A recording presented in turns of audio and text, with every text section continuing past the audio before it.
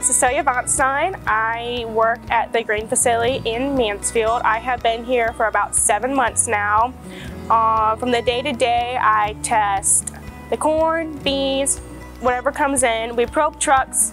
I keep um, inventory from day to day. We put them on a board so we know what's going on. I keep that running. When the non-GMOs come in, I test those beans.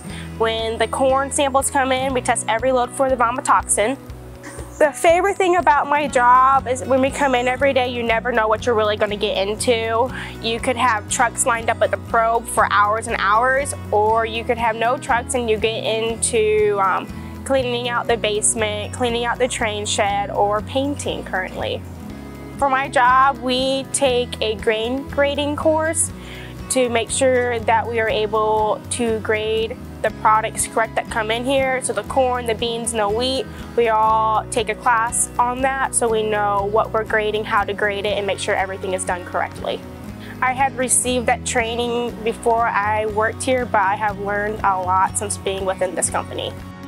If I could handpick my next co-worker, I would pick somebody who understands that we have to work long hours, um, who is willing to work the long hours, who will jump in and help with anything. You know, some days we're here to 4.30, but something might go wrong. You might have to be here a little later. Someone who understands that and is willing to accept it.